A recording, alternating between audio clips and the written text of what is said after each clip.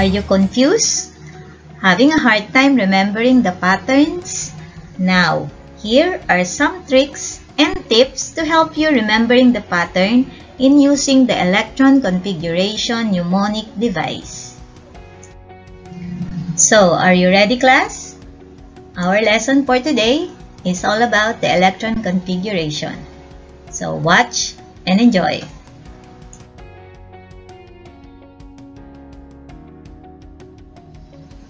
So for you to learn the use of the electron configuration mnemonics, you must first identify the different sub-level. So you have the S, P, D, and F sub-level. S stands for sharp, P for principal, D for diffuse, and F for fundamental. Are you familiar with this?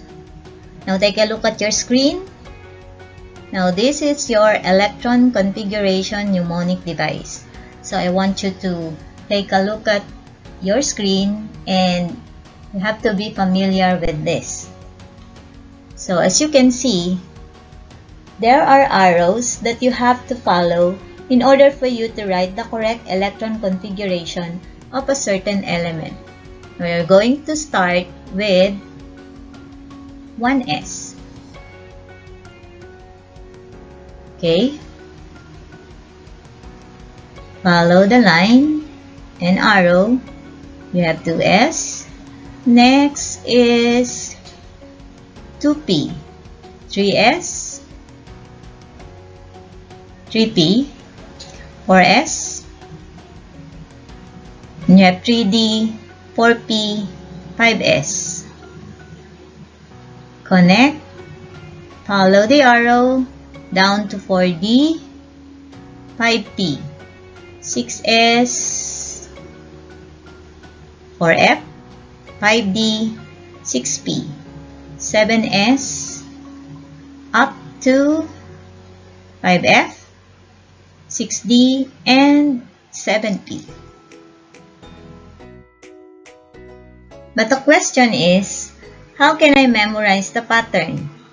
And how can I write the correct electron configuration of an element without looking at the mnemonic device?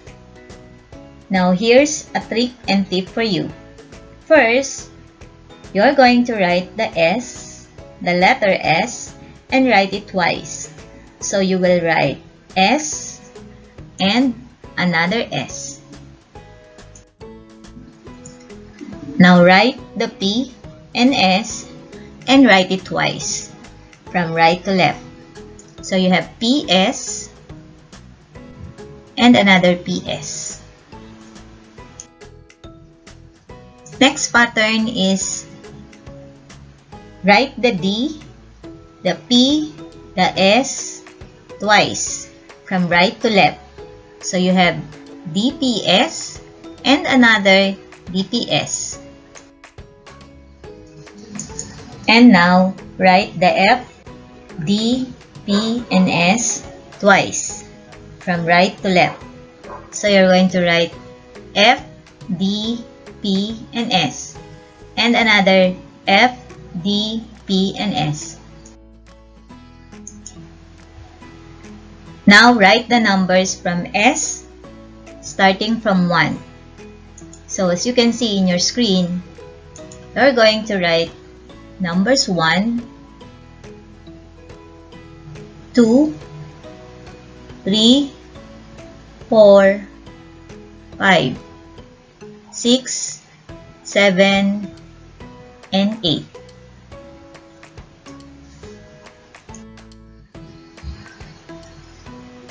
Now write the numbers from P starting from 2. So in your screen, you're going to write 2,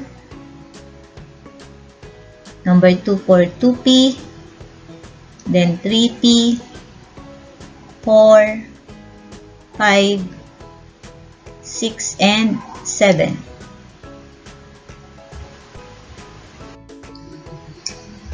Next is write the numbers from D starting from 3. So you have 3D, 4 for D, 5, and 6.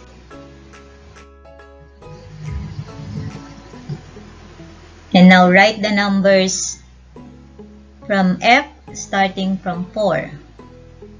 So, looking for F. So, you're going to write for F and another F, that's 5. Now, in writing the electron configuration of a given element, you must remember the four sublevel. Remember that the sublevel S stands for sharp, P for principal, D for diffuse, and F for fundamental. And also take note that the S sublevel can only hold a maximum of 2 electrons. For P, can only hold a maximum of 6 electrons. D sublevel can only hold a maximum of 10 electrons and the F sublevel can only hold a maximum of 14 electrons. The periodic table will help you identify the location of an element. So let's try this. What is the electron configuration of beryllium? The atomic number of beryllium is 4, so we're looking for 4 electrons. So using the electron configuration mnemonic device, we're going to follow the pattern. So we're going to start with the lowest energy level and that is 1s. Remember that the s sublevel can only hold a maximum of 2 electrons. So since we're looking for 4 electrons, we're going to start with 1s2 then, 2 pa lang yung electron. Then, we're going to add. Um, let's move to the next level. We have 2s. So, 1s2, 2s2 to come up with 4 electrons. Another one is the electron configuration of neon. The atomic number of neon is 10, so we're looking for 10 electrons.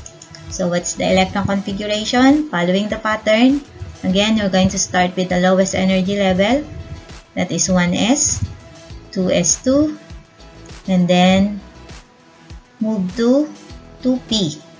So, remember that the s sublevel can only hold a maximum of 2 and p can only hold a maximum of 6.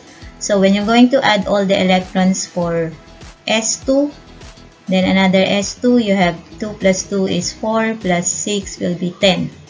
So let's check. So the 2 here for 1s2 for beryllium and another 2s2 will be 2 plus 2 will be 4. So the total number of electrons will be 4. The same thing with the atomic number of beryllium. How about neon? So 2 plus 2 plus 6 will be 10. A total number of electrons will be 10 and the atomic number of neon is also 10. Next is, what is the electron configuration of nitrogen? The atomic number of nitrogen is 7, so we're looking for 7 electrons. So following the device, 1s2, 2s2, and 2p3. So we're going to start with the first energy level. So you have 1s2, 2s2 and 2p3 add all the electrons. We have 2 and another 2 and 3 so we're going to start using the device 1s2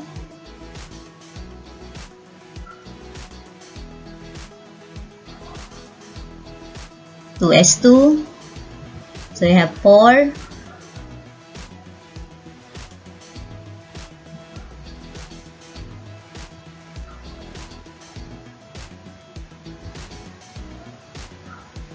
And so since we're looking for 7, when you add 2 here, plus another 2, you only have 4. So ilan pa yung kulang mo para makuha mo yung 7 electron? So you will need another 3 coming from P. or from p sublevel. Since the maximum number of electron that can hold the p sublevel is 6, pwede naman tayong magbawas. But remember that S can only hold a maximum of 2, P can only hold a maximum of 6, D can only hold 10, and F can only hold 14. So, if we're looking for, or if we're using the P, pwede naman tayong magbawas ng uh, electron. Depende sa hinahanap natin. So, pwede nating bawasan yung 6 ng, pwede siyang maging 5, pwede siyang maging 4, pwede siyang maging 3, 2, and 1. So, how about the next sample? So, what is the electroconfiguration of fluorine? We're looking for 9. So, of course, we're going to start with the lowest energy level. And the lowest energy level, we start with 1s2, 2s2, and 2p5. So, when you add all the electrons, so 2 plus 2 is 4 plus 5 is 9. So, all in all, you have 9. Since, ang maximum naman ng P ay 6, pwede naman nating bawasan yung P para makum para pag inad natin lahat ng electron, makukuha natin yung uh, 9 electrons of fluorine. So, again, 2 plus 2 plus 3 is 7 for nitrogen. 2 plus 2 plus 5 is 9 for fluorine. Now, let's try another trick. Now, here's another pattern for you to write the electron configuration uh, device. So, let's try. Write 1 to 7.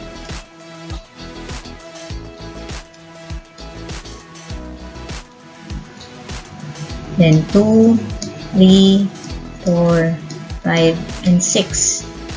Then 3, 4, 5, and 6. Then 4 and 5.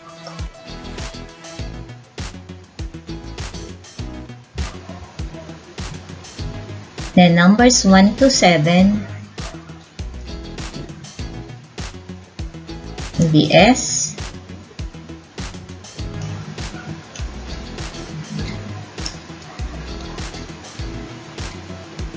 then P for 2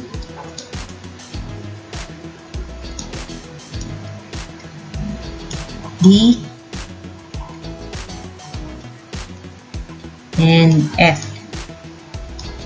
so make a line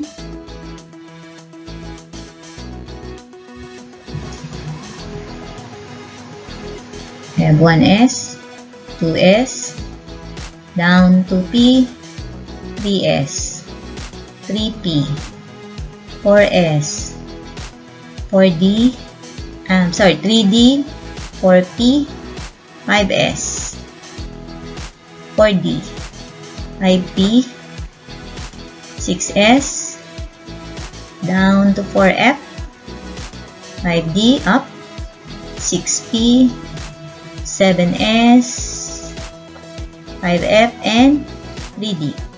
Oh, there you have it. You can use this one.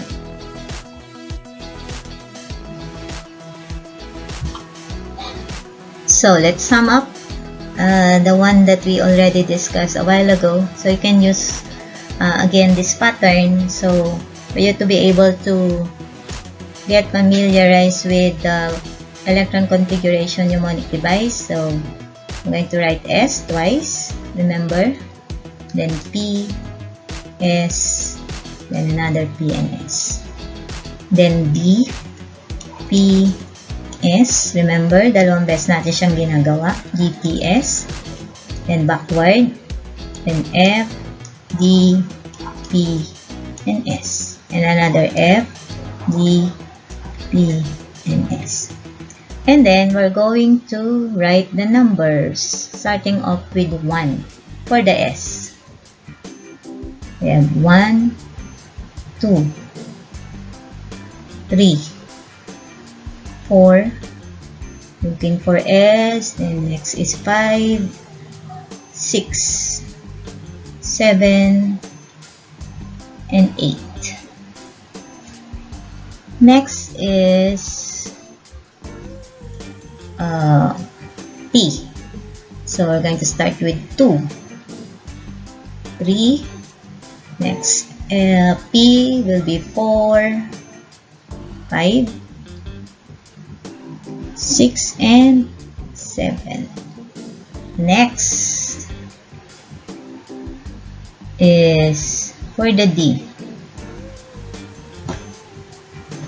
So we have 3 4 uh, 5 and 6